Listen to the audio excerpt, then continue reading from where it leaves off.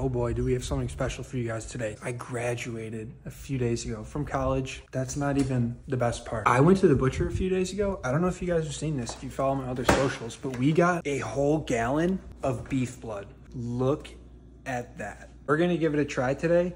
It's fully thawed out. Never had raw blood.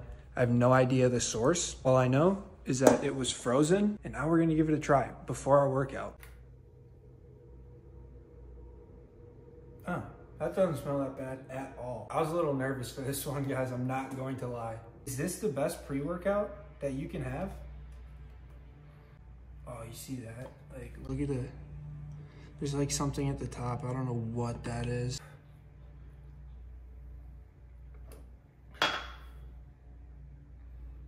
Oh, that's easy.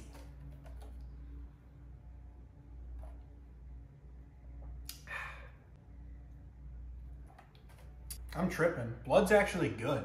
All right, so now we're gonna hit a workout. My stomach feels fine. I'm like juiced up though. I feel so damn good. If you guys haven't seen this before, this is my home gym. We got a rack, a sauna, Peloton, treadmill, free weights. I've been training really hard recently, doing a lot of lifting. In the past year, I actually went from college rower to no longer a college rower. I quit and left school. Just graduated though, I was all online, so I just decided to come home and I've been taking training pretty seriously. For a long time, I was focused on being way too lean. I was like 175 pounds in this photo and then I was like 180 low energy, felt like shit. My cardio was insane. Like I would run 10 miles at like a 640 pace, like easy. I was just a cardio freak. Now I've been trying to get away from that as of late and we've been able to get my bench press up a ton. I benched 225 for the first time a couple weeks ago, which was a huge milestone for me. Currently 6'3", 205 pounds. I'm feeling better than ever. This is what a typical workout would look like for me.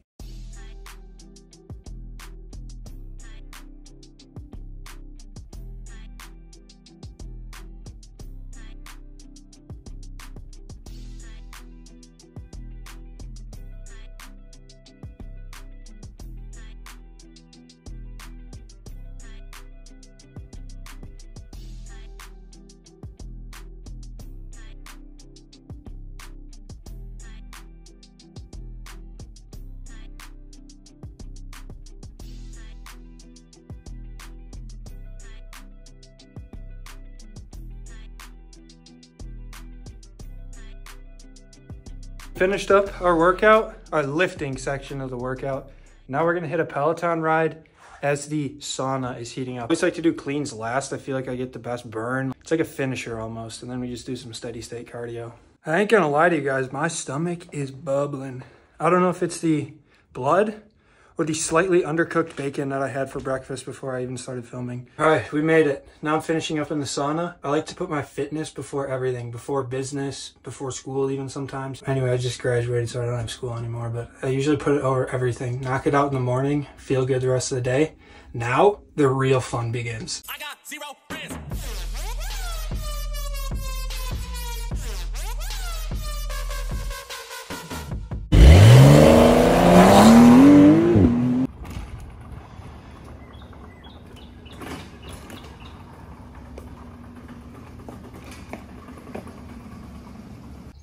Some errands right now. We're not gonna take the Porsche. It is not my car to begin with. It's my dad's. It's also a little rainy. Show you guys. Look, this is Butter Dawg's whip, right? This is the Jeep and it's my baby.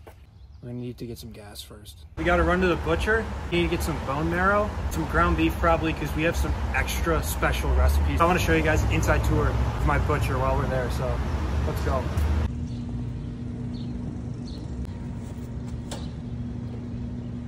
We're at the butcher, baby. Let's go. This is my happy place. Prime Beef, Mundelein, Illinois. I've sat in that wagon before for a video. I'm at my happy place, the butcher. All right, guys, this is where I get all my pizzle. That's a bull penis. Check it out right there. That is a pizzle. This cooler's full of a bunch of cool stuff. We got testicles. Is what we're looking for right here. Bones. There we go. That's our beef. They grind it up here for you before you buy it. We bought six pounds. All right, time for some feet loaf. Let's go. You guys, you're gonna love this. We're making feet loaf. Feet meat loaf. Let's go. We're making some feet loaf. Where'd you go. No,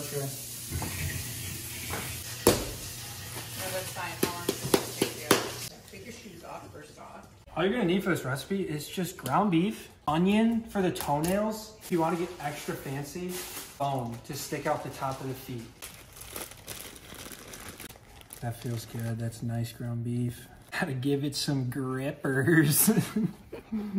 How many toes? Five toes? That's good, isn't it? Yeah. Who wants feet loaf? Yummy! This is the only time you'll ever see me eat a vegetable. This is a meatloaf, but feet. Get it? Feet loaf? Yeah. Onion toenails, femur bone from a cow. You literally don't even need to bake this. I like to get down on some toes. I'm not afraid to lick the toes. Mm.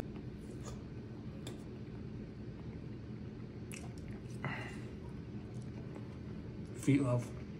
You need to make this. I eat like this every single day and feel amazing. If you want to level up your fitness, start eating feet loaf. I'm not kidding. If you've seen any of my TikTok videos, you probably think a lot of this is a joke, but at the end of the day, I do eat this way. I've been eating a carnivore diet for around a year, and I think it's one of the best ways to lose weight because it takes all of the thinking out of it. You're not thinking about what I'm going to eat, how much I eat. Your body really does it for you. When you eat real foods, you get the signal to your brain, okay, I've had enough. I'm done. There's no binge eating. I really do think it's the best way to eat, but here are a few unexpected negative consequences of a carnivore diet that made me switch to animal based and start including fruits and honey in my diet. And the first was the sleep. In the beginning, my sleep was great. I was feeling amazing. But after a while, my sleep was terrible. I was sleeping only a few hours a night, getting up every single hour. And secondly, my libido was down terribly. Now, that was all corrected when I started eating fruits and honey, but in the beginning, it was a little uh, worrisome. I ended up taking the Choq Tongkat 100 with code BUTTER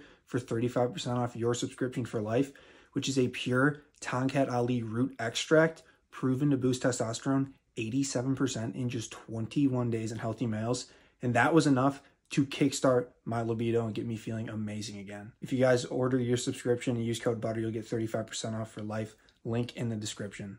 Lastly, my workouts were trash. And when I was first carnivore, I was an endurance athlete at the University of Wisconsin. I was on the rowing team, and my performance dipped tremendously. You need carbs for performance. People say, oh, you can run on fat, and you can, but when you when you're trying to get into that extra gear, you need the carbohydrates to fuel your body. Not to mention the whole recovery aspect. Meat is great for recovery, but you also need some carbohydrates, a little insulin spike, get all the nutrients to your muscles. Since you guys made it this far, thank you. Hit that subscribe button. The uploads are going to keep coming.